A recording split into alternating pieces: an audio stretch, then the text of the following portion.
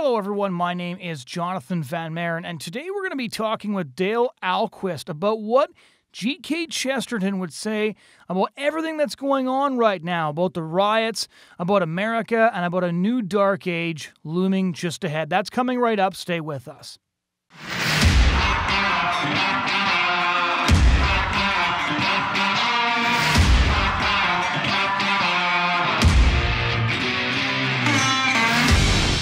Everyone. My name is Jonathon Van Maren, and welcome back to the Van Maren Show on LifeSiteNews.com.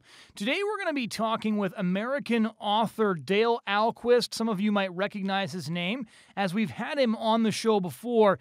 He is the president and co founder of the American Chesterton Society and the publisher of its magazine, Gilbert. He's also the co founder of the Chesterton Academy, a school in Minneapolis. He joins me to talk about what's going on in America right now, what Chesterton might think about it, what he sees happening in the future, and what comes next. Before we get right into the show, I just want to remind everybody that the news service of LifeSite News, which covers essential pro life and pro family news, is one that does rely on supporters. They are in the midst of their summer campaign right now, and if you head to lifesitenews.com slash Frontlines 2020. You can help this mission continue. A generous family has offered to double every monthly gift, and so you can double your impact as well as support podcast news like this. Thanks so much for your support. Here's my conversation with Dale Ahlquist. Well, first, I'm going to ask you because I know you're quite near to uh, the epicenter of where all of this chaos has been taking place. Can you describe what the last couple of weeks have been like for you?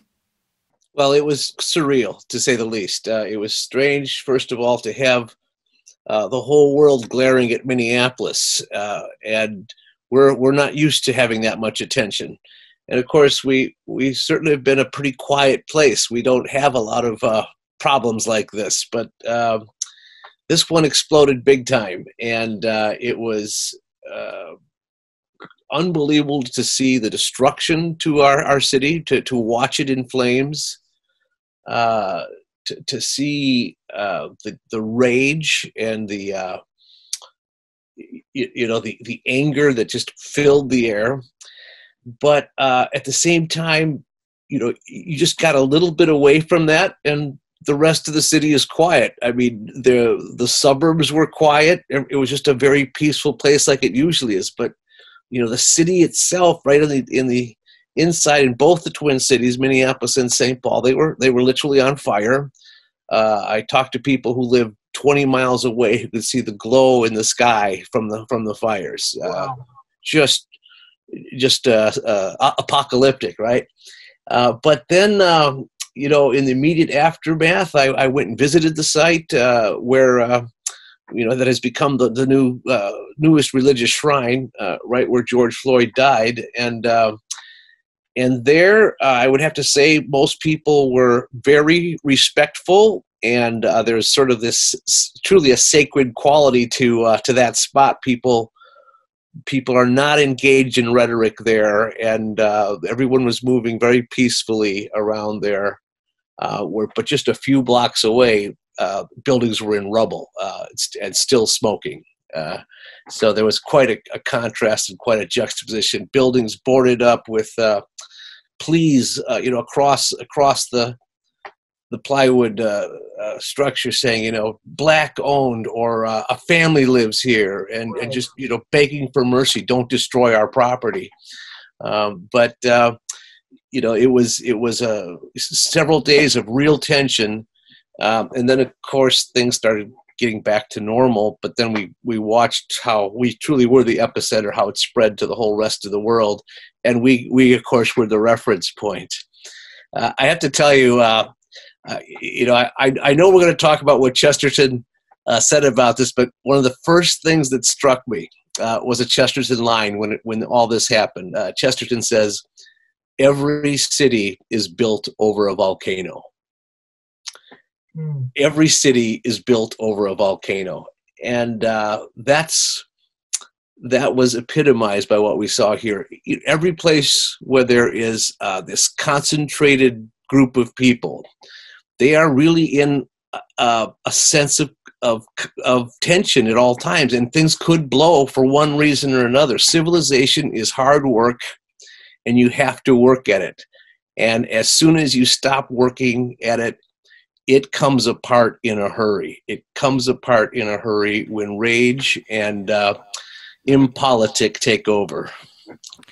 Yeah, that, one of the things I, would really wanted to ask you, being so near, like near what actually took place, because it's pretty surreal to watch what's going on across the United States. And obviously, I'm not anywhere close to where I'm a lot closer to to a city burning than I thought I would be at any point in the next decade.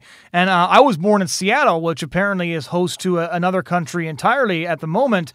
Um, but one of the things I wanted to ask was, what was it like? Like, what did it do to your sense of security, to your identity as an American, to be so close to something and to realize that the veneer of civilization is is really thin? Because I have found that the pandemic and then the riots. Um, sort of happening one after another, and who knows what's going to come next, has really uh, made a lot of the cliche we things that we say actually, uh, you know, we actually mean them for the first time. So uh, many people always say God willing or the Lord willing in reference to something that they're going to do in the future. Now they actually mean it uh, because they realize, well, most of us are sitting there with, you know, day planners filled with things in pen that we're never going to do. Um, and we say the veneer of civilization is thin, but part of us believes or wants to believe, well, like it, it can't happen here. Like there has to be a series of logical and rational steps before we can get from where we are now to here, and we'll see it coming, you know, before we get to the step where the volcano blows. So, what did it feel like as an American, as to be so close to what was actually going on? Yeah, uh, it is. It's something we've been talking about for a long time. We've been uh, you know, Chesterton predicted a new dark ages was coming, uh, a crumbling of our civilization. We were losing our moral base, uh, our religious base, and our cultural base. We were, we've we've been neglecting the past and all the, the, the lessons of history, and all these things are are what hold us together. And you know, and I've also been you know really really condemning the public education system in this country, which uh, I think is is our biggest enemy right now. And yet, to see the fulfillment of everything we've been talking about, to watch it happening, uh, was sobering indeed. We, I, I, I been talking about something like this happening, and then it actually starts happening, and then you take a breath and say, "Well, here, here it is. It has come upon us."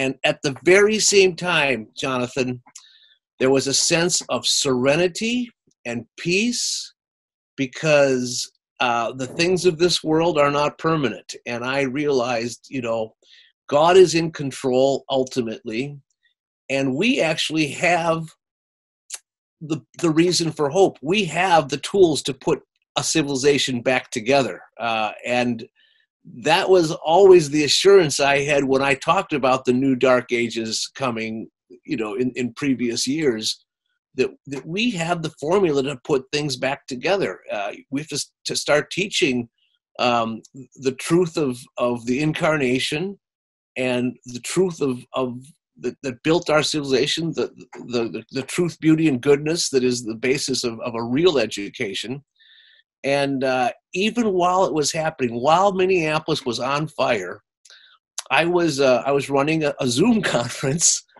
about the Chesterton Schools Network, and and I had people you know from all over the country and in Canada who were listening in and wanting to know how to start a Chesterton school. Even while my city was burning down, I was having that conversation. We're going to shift right into Chesterton here because one of the first things that I wanted to discuss in re- there's, there's actually there's a lot of different threads to be pulling here, but one of the things I've been most interested in um, with Chesterton, besides the subject of our previous conversation, which was was primarily around eugenics, because of course I work for for a pro life organization, but one of the things I've been consistently interested in uh, in Chesterton's writing is how he talks about the the relation of the present to the past, and that the relation of of now to to our past, to our ancestors, and that's a, a particularly relevant subject now because we see well i'm sure you saw that like it was so strange to see the images of winston churchill boarded up in london uh, because of, of potential vandalism by antifa folks, right? The guy who defeated fascism is now under threat uh, from these people who really have no idea who he was. So you see, you see these statues coming down, and yeah, there's statues of some bad people coming down, and there's also statues of of people who are flawed, which is all of us uh, coming down. And I want to read you one quote here from Chesterton that I included in an article on actually uh, when when the Wokelings came after a Dutch hero of mine, as you can tell from my last name, I have Dutch heritage, and they were trying to accuse a great Dutch admiral of having been involved in the slave trade, which is uh, both untrue and neither here nor there. But here's one of my favorite quotations from Chesterton, which I, I'd like you to kind of comment on in the present context. The modern mind is forced towards the future by a certain sense of fatigue, not unmixed with terror, with which it regards the past. It is propelled towards the coming time. It is, in the exact words of the popular phrase, knocked into the middle of next week. And the goad which drives it on thus eagerly is not an affectation for futurity. I hope I'm pronouncing that right. I think he made the word up. Futurity does not exist because it is still future. Rather, it is a fear of the past, a fear not merely of the evil in the past, but of the good in the past also. The brain breaks down under the unbearable virtue of mankind. There have been so many flaming faiths that we cannot hold, so many harsh heroisms that we cannot imitate, so many great efforts of monumental building or of military glory which seem to us at once sublime and pathetic. The future is a refuge from the fierce competition of our forefathers. The older generation, not the younger, is knocking at our door. The future is a blank wall on which every man can write his own name as large as he likes. The past I find already covered with illegible scribble, such as Plato, Isaiah, Shakespeare, Michelangelo, Napoleon. I can make the future as narrow as myself. The past is obliged to be as broad and turbulent as humanity. And the upshot of this modern attitude is really this that men invent new ideals because they dare not attempt old ideals. They look forward with enthusiasm because they are afraid to look back. Well, this is uh, that that's a great a great passage from Chesterton, and it ties right in with with his whole philosophy, um, and and it really connects to, of course, what's going on right now. Um, he he really made fun of the futurists during his time. Uh, and as you as you recall, you know this is H.G. Wells and his uh, utopias and uh, uh, all these these really blissful pictures of the future. But then then at the same time, we were starting to get these this dystopian literature as well. Um, even though people believed in the sense of endless progress and and progress uh, became a noun that didn't have any meaning to it anymore. You can't have progress unless you define what it is you're progressing towards. And Chesterton pointed out that those who call themselves progressive never talk about what the goal is, they just talk about progress for progress's sake. Mm-hmm. And, uh, and and Chesterton had a, had a good time, uh, you know, uh, satirizing that that point of view that just believes everything's going to get better. And um, and the future is is where everything is, is going to be just fine.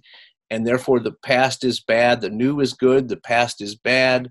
Uh, the newer is even better than than the new and and even newer is better. It's all these fashions that completely fade quickly and no one has any sense of the per, of the permanent because they've lost complete connection with with the past and with history uh, this sense of progressivism, Chesterton points out, is tied directly to Darwinism, and right. the sense that um, you know we are as as hu- human beings in a in a progression of getting better. Uh, Nietzsche took that idea that uh, we have to move beyond good and evil. We have to. The Superman is next. We have to evolve into the Superman, and uh, that was one of the most poisonous philosophies to ever infect the 20th century. Uh, Nazism was built on that very concept that we are the master race. It's directly connected to Darwinism, but it's also connected to um, you know this notion of progress in general and uh, uh, and futurism. And so it, it's all tied together. Chesterton showed uh, the weakness of the philosophy, but but how it, it it kind of infected everything. Uh, the the hatred of the past, uh, Chesterton points out, is is um, you know completely a a modern phenomenon. He's you know the modern world is the only time in history where people have bragged about being modern, bragged about being here rather than there. And uh, and so there's no basis to it. There's no foundation to it. And what do we see? What what are these anarchists doing? They're destroying all traces of the past. They're destroying their own civilization in, in a complete and utter hatred of the past and no understanding at all of what uh, what history has been teaching us, you know, all along.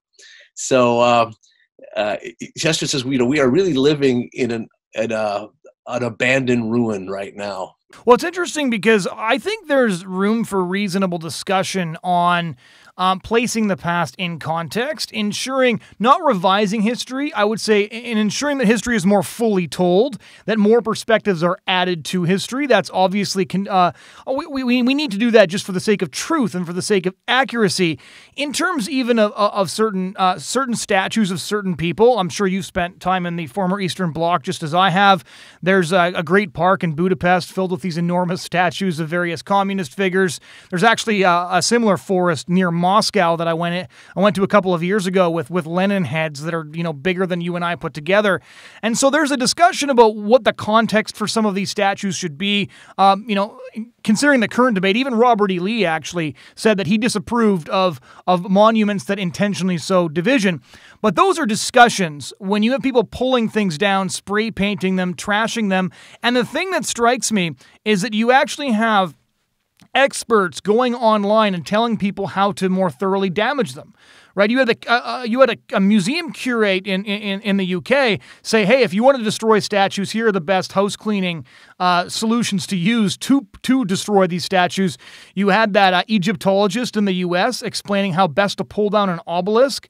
Um, I didn't really understand the connection of the obelisk to uh, to the current debate. If unless we're going to be unless we're still angry about the Exodus or something like that, that seemed a little bit far off to me.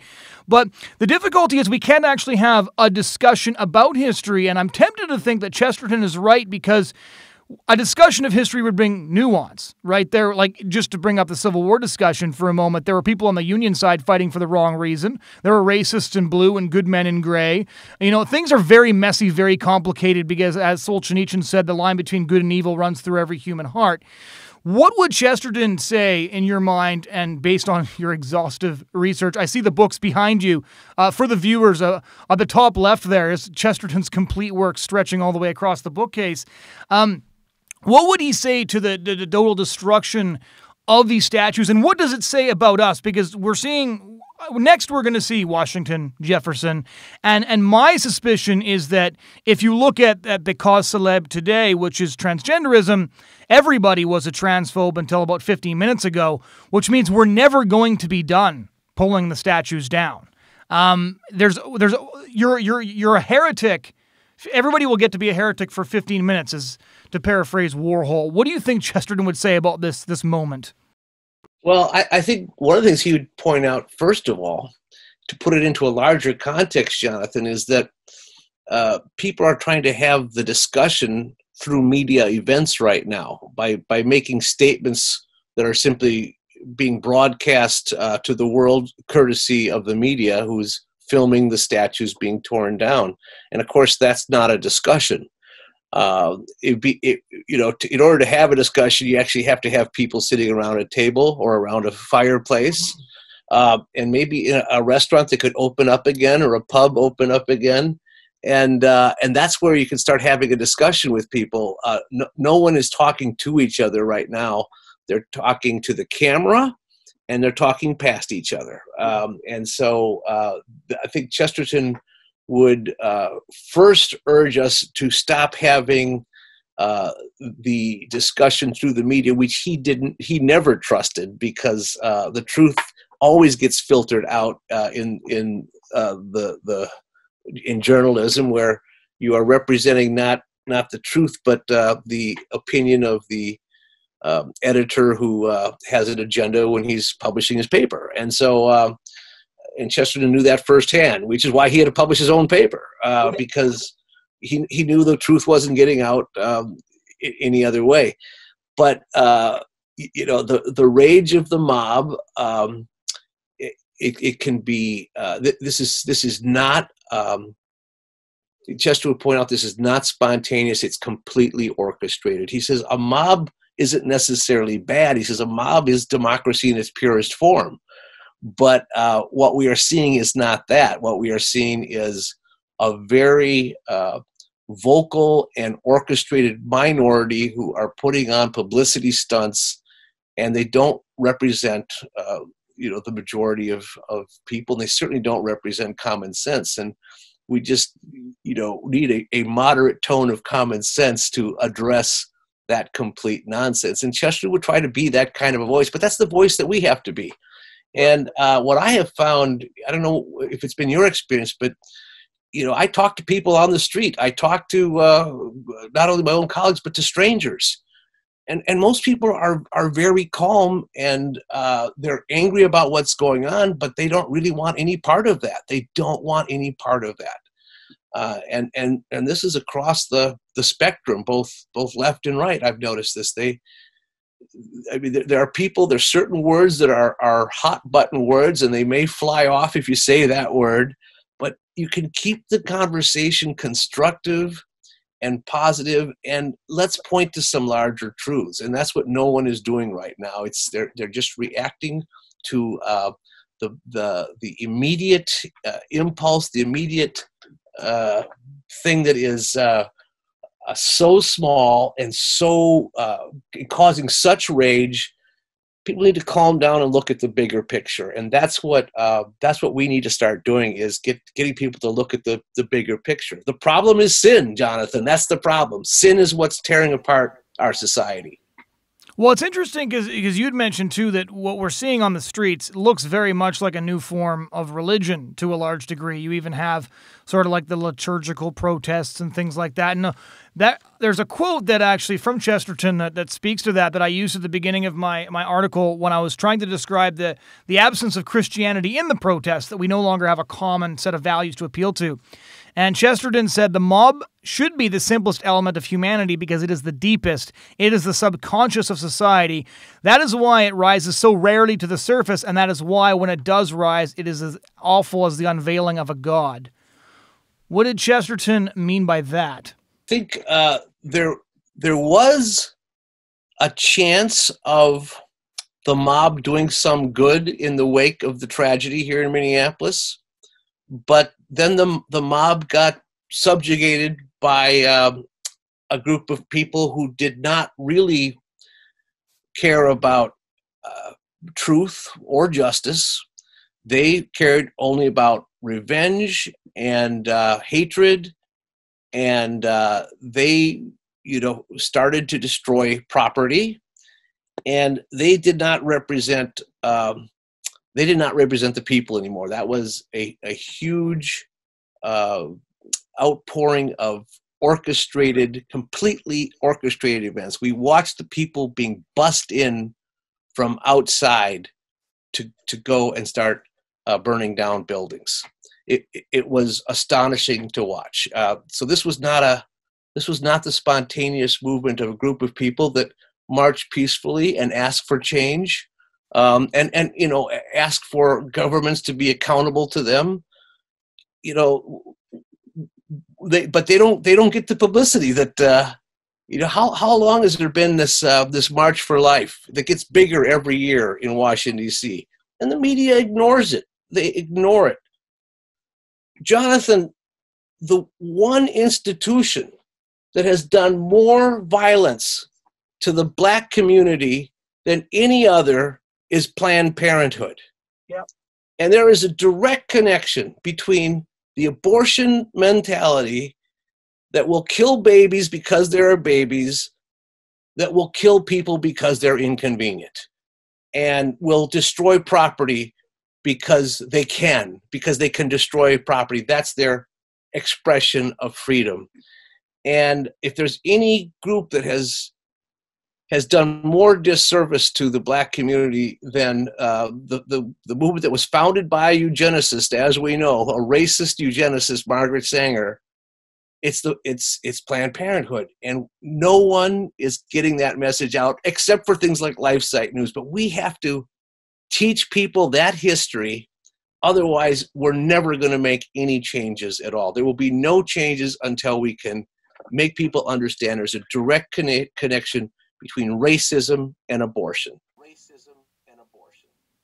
Well, and that's sort of the, the one of the interesting things about the the statue smashing and the, the current iconoclasm is how selective it is. You don't see people demanding that the bust of Margaret Sanger be removed from the Smithsonian. You don't see people going after the eugenicists that were on their sides. You don't even see anybody going after statues of Woodrow Wilson, even though he forcibly resegregated the federal government because he's perceived to be uh, progressive and therefore his sins are forgiven because he was at least on the right trajectory, so to speak. And it's interesting. I, I, I wish I'd printed the quote out because I'm, I'm going to butcher it from memory. But but Hilaire Belloc, one of uh, one of Chesterton's sometime colleagues, had said too that we laugh at the barbarian when he does all these ridiculous things, and a lot of these ideologies we did laugh at at first. Uh, the idea that a man was a woman and a woman was a man just because he or she said so, and things like that. Uh, he says, but uh, but as we degrade ourselves, we are watched by large and solemn faces from the beyond, and on those faces there are no smiles. Sort of, uh, you know dovetailing right into what Chesterton said about what our ancestors would think of us. We so often, you know, pass judgment on our ancestors and the great women and men of history, despite how flawed they were and despite the fact that they were limited by their times. But we rarely stop to think of what. What would they think of us? How would they judge our generation? We've been without God for two generations as a broader culture, and we don't even know what a man is or a woman is anymore. Yeah, Chesterton talked about that um, in the uh, in it. He'd he'd read something that was just written, and he goes, "The scholars of the future will read this. They go and they'll they will say, oh, they only wrote things like that in the early 20th century, and." Uh, we, uh, we are, he said, we are accumulating a great judgment against ourselves uh, in, in, for, by future generations and that is the great irony of progress of, of this progressive mentality is that we are making ourselves look like fools to our children and grandchildren with the uh, the, the insane uh, behavior, the insane philosophies that are being uh, paraded uh, in front of us. But hopefully, there'll be some in the future who say there was this one thread of common sense that was maintained by a group of believers who are actually trying to protect uh, the legacy of the past in order to carry it through the future. Uh, you know, Chesterton's great line about the, the church in the dark ages. You know, he says that the, the church was the one light in the dark ages that brought us out of the dark ages. And hopefully that is what the future will be able to say about us. But yeah, we, when they look back and, and, and see that we, uh, we, we not only uh, uh, kept kicking our foundations out from under ourselves. We didn't even know what boys and girls were. yeah. yeah. I, I, I know that. So I know that with everything that's gone on in the last couple of years, that it's it's dangerous to try and prophesy or predict. But I did want to know what your personal opinion was on how things are unfolding. This is airing on Wednesday, but uh, for those of you um, who might not have heard of this yet, of course, the Supreme Court just ruled, uh, and the conservative majority Supreme Court ruled that uh, that LGBT people now do qualify under the 1964 Civil Rights Act, which is the most devastating blow to religious liberty that we've seen since uh, Obergefell in 2015. Um, the the rioters seem to have won in terms of nobody dares to question their power, uh, and they've won because, from what I can tell, an assertion of power is largely what the point was once the protesters got pushed aside and and the rioters took over. They didn't really have an agenda that they were posing so much as they were flexing their muscles, as we see ongoing in in Seattle. So before we get to the the solution for all of this and what our duty is uh, to be a candle in the dark ages, how do you see us heading into these dark ages, and how do you see these dark ages unfolding? Do you have much of a hope that we're going to be able to to fend off the forces of secularism and maintain enclaves? Uh, as small as they might be? Are you a, a Rod Dreher Benedict option sort of guy or a Wilberforce option sort of guy? What would your take be on on what the next uh, decade or two uh, is going to be like? Because it's it's one thing for for people like us to sit and chat about this, but most of us uh, have kids, and and everybody's quite worried about the future. What what do you think that's going to look like? Well, um, I think that we are um, a very top-heavy uh, civilization right now, top-heavy society, and and we are very much in danger of of that kind of structure toppling over. Um, but uh, I think that the I I foresee it. What I'm going to work for, the solution that I'm working for, the future that I'm working for, is to uh, take care of my family, take care of my community around me, uh, be true to my faith, and try to give the good news to the rest of the world because I think we have the solution. And I'm I'm more hopeful than ever because the light is bright when things are dark.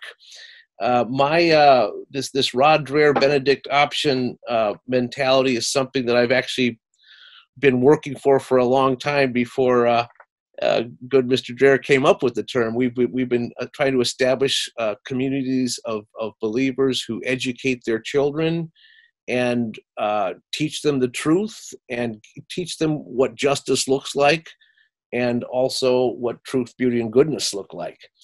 And I, uh, I think that the um, the the nonsense philosophies that that are are leading the way right now are simply going to self-destruct, and that's what Chesterton says happens to bad philosophies. They they lead first to madness and then to self-destructive madness. The LGBT uh, philosophy is is doomed to fail because it simply cannot be maintained. It it it it, it eats itself and uh, destroys itself. Uh, it it will inflict pain around it while it happens, but it simply can't be maintained. The public school system is has been on a steady road uh, to self destruction, and we are seeing the fruits of public education when we are watching our cities burn down. Okay, uh, I think the public education system is in the process of destroying itself. I think these things are going to die a painful death. I think we have to re- start rebuilding the civilization even while it is crumbling around us. So what does that crumbling look like? Not not not to prod too hard, but one of the things that I'm interested in, what does that look like practically? So there's us because knowing knowing some um, predictive practicalities is helpful in terms of exactly what the Benedict option looks like. And I know that looks different in different places.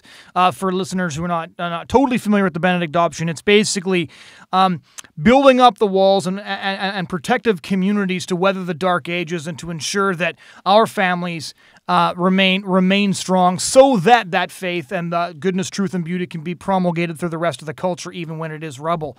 When you say pa- die a painful death, uh, do you mean painful for everybody? How how how extensive do you suspect the the, the cultural destruction and civilizational destruction might get? Well, um, I I think as we see a growing lawlessness, uh, that's going to that's going to have a ripple effect. People have lost respect for authority, and so uh, normal law is going to be difficult to enforce because people do not recognize the authority of even um, our our political and uh, uh, you know law enforcement uh, officials. They that they have taken a big hit. Uh, COVID helped that. Uh, the, the the COVID thing was so illegitimate and so uh, falsely restrictive, and people. You know, part of the reason for the rage here was that it came right on the right into the the teeth of people just so tired of the restrictions and the nonsense of the restrictions and you know when when when worship was being was deemed non-essential and uh but but liquor stores were essential casinos were essential um abortion, abortion clinics were essential. yeah and abortion clinics um you know the, the nonsense of uh you know of, of the law right now is is going to be uh, it, it, we're going to we're going to see the the repercussions of that when people will not obey stupid laws but then also they won't uh, they won't obey basic good laws either so we're going to we're to see a growing sense of disrespect i think for the law both in terms of anarchy and in uh, really focused civil disobedience uh, because uh, true self government means you govern yourself, uh, and people will will start to see that you have to have a bottom up solution. And so again, that's what that's what the topic is. There's also there's also this um, uh, growing dissatisfaction with uh, the country being run by just a few big giant corporations. Right. Uh, and uh, people are starting to realize that why do I have to do every service in my life with that Seattle based organization named after a river in South America? Uh, you know, when, when, are we going to start doing things locally, taking local control of our lives? And uh, but in the meantime, that huge structure that has been put in place, that infrastructure to support all the giant corporations, that's going to have a painful breakdown. Uh, and and uh, we're going to see problems, I think, with the supplies of food and of, of just necessary services because um, it, it, it's an infrastructure right now that can't be maintained, and we have we have uh, get put so much of our basic needs far away from us rather than fulfilling those needs ourselves. There's going to be a, a, painful transition when to to make uh, even commerce local again and people fulfilling their their personal needs of their personal actions. So um, that those are those are the I think uh, there's going to be a painful break with big government and a painful break with big business. So there's people of all denominational backgrounds uh, who listen to this podcast. I myself am Reformed. There's evangelicals, Baptists, Catholics, Big O Orthodox. What would your be uh, practical advice be to people who are listening to this and thinking, okay, so if there is another dark age coming, which I think uh, the last couple of years have convinced most people is at least not outside the realm of possibility, if not very likely, uh, what are some solid steps I can do for me and for my family? If I don't have a community, how do I start building one? If I do have a community, how do I help prepare that community? What are some of the practical things that you would say to people in light of the potential coming of, uh, of Chesterton's uh, predicted dark age? Well, the most practical thing that we did, Jonathon, was when we started a school. And uh, taking care of the souls of our children is our number one priority. Uh, and so, by creating a, a, school of people who believe the same truths and uh, want to make sure that their children are formed in those truths and formed in that lifestyle, which is very moral, but also very virtuous and joyful, and and looking towards God and not towards man for the ultimate uh, meaning, uh, we are making better people and uh, there there is immediate fruit that is coming out of uh, creating a, a school of, of believers that really take education under control. I, I said before in, in this broadcast, I think our greatest enemy is the public school system, and I think people of all faiths have to get their kids out of public schools right. because they're destroying the souls of their children uh, and and those schools are driving a wedge between student and parent by teaching them something completely alternative to what the parents are trying to teach them. And uh, you, know, you know that's where you get the lgbt nonsense. It's coming out of the public schools. Abortion contraception homosexuality all those things. But also this that they're, they're being taught that their children are beasts. That's what they're being taught and uh, you have to teach them that they're made in the image of God. That's the most practical thing you can teach them. Uh, so uh, a community has to start looking out for each other. Those are those are very practical steps, uh, and and then that has an immediate good effect on all the people around us. We have a good story to tell, and we need to start telling it and we need to uh, uh, stop reacting to the bad news. We have to start telling the good news, and people have to start reacting to us. Right. I guess uh, a final sort of Chesterton question uh, one of one of uh, his most interesting books is is is uh, when he went to America. His big fat leather bound book on America. What do you think that? Just to give a plug uh, for that particular book, what do you think in that book, Chesterton's observations when he came to the U.S. and he was so outside of political correctness? I think it's one of the only video film strips of him still where he gave a commencement speech and he said uh, that um, although. Um, although he was not not an American, at least he was not a Mohammedan, which would which wouldn't. Yeah, no, he said it was at Holy Cross College. It was just a, it's a, it's a film, film clip uh, where he was made an honorary crusader because Holy Cross, uh, you know, they, they were called the Crusaders. Yes, uh, yes, yes. And and uh, it's it's uh, a college founded by the same uh, religious order that founded Notre Dame in Indiana. And, and he said, Well, thank you for making me a, a, crusader. I don't know that I am a crusader, but I'm certainly not a Mohammedan. You can't you can't be more politically incorrect than that. Yeah. But uh, but in his book, What I Saw in America, I mean, he he says that um, slavery. He believed that slavery is the crime and catastrophe of American history. He, he called it the crime and catastrophe of American history, and that uh, he couldn't believe. He was astonished when he came to America, the, the land of the free, and found that people hated each other on the basis of race. He was so surprised to discover that. He didn't think that. And he, he said, you know, it's true that in history, white men have behaved like white devils to black men. And it's, it's, but it's certainly the original sin uh, of American history. And, uh, and, and he saw America was paying a heavy price for it. But by the same token, he was such a great admirer of of the Declaration of Independence as one of the great documents for freedom, and and the, that creed. He says America is the only nation founded on a creed. It sets out what what it believes in its formation, and we believe that you know all men are created equal, and and they're given their rights by their Creator. And uh, he points out that there is this brotherhood of men. It's certain there's certainly a hypocrisy in America that didn't recognize the blacks, uh, you know, were given should be given the same rights, but by the same token, it did understand that our rights come from God. They they come from God, and you can only have human rights if you recognize them as divine rights. Uh, and, and and so he he he admired and, and praised that uh, in, in his observations of American. He he found the American people uh, just very enjoyable. He says it's the the typical American is all right. It's the ideal American that's all wrong. Which would, yeah, that quote I think summarizes the whole conversation we've just had over the past 45 minutes. Final question Where can uh, our listeners and our viewers find your work and, and, and become more acquainted with Chesterton?